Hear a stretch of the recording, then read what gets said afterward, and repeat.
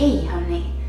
Nu är jag här igen för ett inlägg som ska handla om något som jag har blivit väldigt kritiserad för i mina dagar.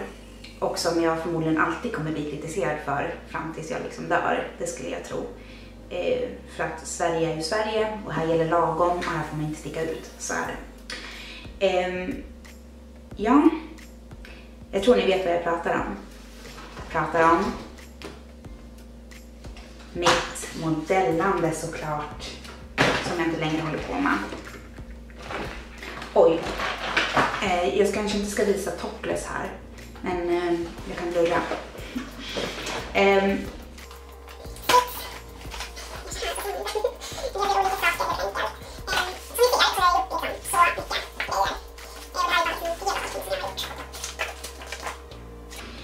ja, det var lite exempel. Liksom, så. Eh, och jag ju, får ju liksom hela tiden jättemycket frågor.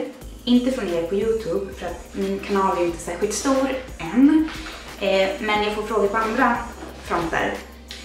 Så jag tänkte faktiskt att jag skulle bes försöka besvara dem. En jättevanlig fråga som jag får det är Hur reagerade dina vänner och din familj?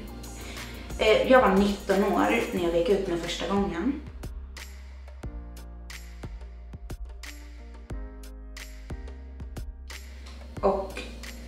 Jag har liksom aldrig brytt mig om vad andra människor tycker om vad jag gör. Oavsett om de här människorna står nära mig eller längre ifrån mig. Eh, familj eller om de är vänner. Det är liksom, jag väljer, det min kropp. Så har jag alltid tänkt. Men hur de har reagerat är ju väldigt olika, ska jag säga. Men jag har nog umgått med människor som är väldigt accepterande. Men det är klart att jag har fått reaktioner. Där. Men jag kommer in lite mer på det sen. Sen är det en annan jättevanlig fråga jag får. Den är jag så trött på kan jag säga. Och det är, vad fick du för det? Alltså, vad tjänade du på det? Och den får jag alltid med en liten sån här eh, sur eh, ton, liksom lite så här eh, som att de spottar ur sig frågan på mig. Och förr så berättade jag vad jag tjänade. Det var ju liksom så här, ja jag sa bara rakt ut så. Idag gör jag inte det. Idag har jag en princip att jag berättar aldrig vad jag har tjänat på mitt glamourande. Och det är för att när jag har berättat vad jag tjänar så har det varit starka reaktioner, det har varit väldigt sunkiga kommentarer, påhopp. Ja, varför gjorde du det? Den frågan får jag jätteofta och det är ganska svårt liksom när någon slänger upp en fråga, varför gör du det här? Liksom, tänk dig själv om du får det för ditt, ditt jobb. Liksom. Varför gör du det här? Kommer någon och säger till dig. Och då måste man ju liksom bara, ja men då behöver man liksom rannsaka sig själv, varför gör jag det jag gör? Ja, och det har jag gjort, jag har rannsakat mig själv. Och att jag glammade berodde på att jag, jag är som person en människa som folk öppnar upp sig för, människor väljer att prata om sina problem. Eh, jag är liksom ganska djup så. Och glammandet i sig är ju väldigt ytligt. Det handlar ju bara om en kropp. Det handlar bara om redskap. Eh, och det gör ju att eh, den världen blir väldigt, för mig, man slipper liksom gå in, i, gå in på djupet med saker. Det är liksom en skön kontrast mot det andra livet. En lättsamhet. Sen är det också att jag älskar att plåta. Jag älskar att skapa bilder och jag älskar att synas på bild. Eh, och jag är inte särskilt lagom av mig heller. Jag tycker inte att lagom är något kul. Den här till exempel tar vi upp här det här det är den kritiskaste frågan, men den känns också som att den behöver jag kunna svara på, känner jag. Och det är, vad känner du inför att visa upp sådana här bilder som yngre tjejer ser, som eh, blir ett ideal för andra människor? Och mitt svar på det är att jag tycker inte att min kropp på något sätt är något dåligt ideal. Jag har aldrig opererat mig, jag liksom, min kropp har kommit av träning och vegansk kost. Den är med andra ord inte konstgjord eller knivad eller hur man ska uttrycka det. Men så. sen kan man titta på den andra aspekten. Det är sexualiserande. Jag menar, en tjej som springer runt så här i snön, men det, är ju, det, är ju liksom, det gör de väl inte. Eller står så här på en firmafest. Nej, fan jag ska inte visa dem med boobs. Ah, ja. eh, Alltså, eller, eller det här liksom, på en motorcykel. Man ser väl aldrig motorcykelkillar åka förbi och det är en sån här tjej på liksom. Inte en chans. Så att, ja, det är en helt annan aspekt. Och den kan man ju diskutera. Är det okej? Är det inte okej? Jag tycker att man ska få välja att göra som man vill. Och jag tycker att alla kroppar ska få visas upp på olika sätt.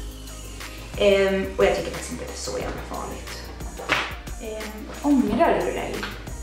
Nej, det gör jag verkligen inte. Den här frågan fick jag från en tidning för inte allt så länge sedan. Och sanningen är att jag tvärtom är väldigt glad att jag har gjort det här för det har lyft min karriärstege väldigt snabbt. För tydligen så är bilden av glamtjejer att man är korkad, blåst, eh, inte kan göra någonting annat än att visa tuttarna. Det är liksom det man kan. Eh, den bilden motsatt mot att jag har skrivit böcker och sysslar med film kolliderar ju. Och där gillar media att lyfta, vilket gör att jag får eh, synas.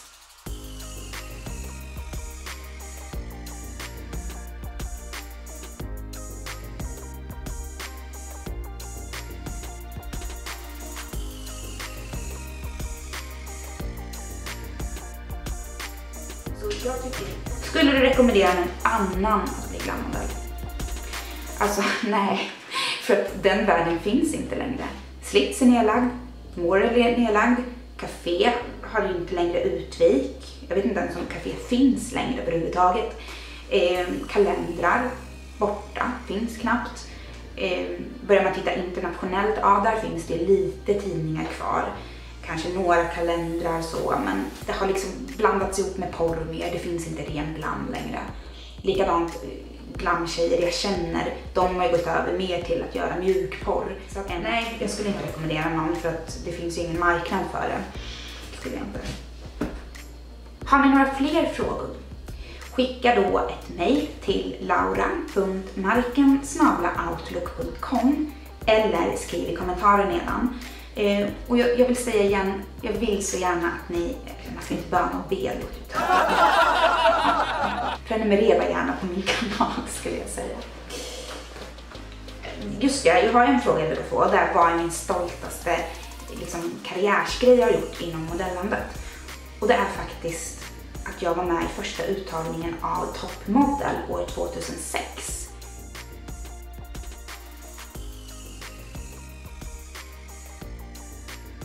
Det här tycker jag var väldigt häftigt. Eh, jag gick ju inte vidare, men det var, det var lite häftigt och liksom också just det att det var fashion. Eh, nu valde ju inte jag att jobba inom genren fashion, men det är nog mitt stoltaste. Och sen såklart att vara med i Slits. Det var ju roligt. Liksom. Det är det största inom glam i Sverige, så. Eller var. Ja, tack snälla för att ni lyssnade på mig.